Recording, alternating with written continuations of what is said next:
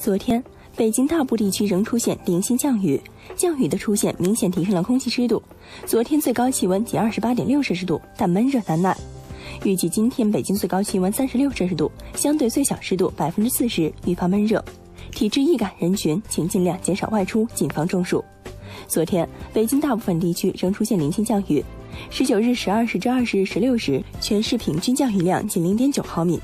虽然雨势不大，但降雨的出现明显提升了空气湿度，导致闷热异常。相信很多市民都无法相信，昨天北京最高气温仅有二十八点六摄氏度。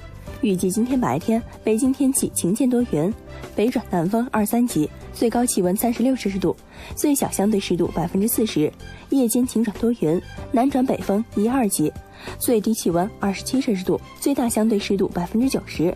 高温高湿闷热的感觉会愈发严重。进入三伏天后，北京雨水虽然经常客串，但气温依旧坚挺。预计未来七天北京最高气温均在三十摄氏度以上，暑热犹存。而且由于空气湿度加大，闷热感如影随形。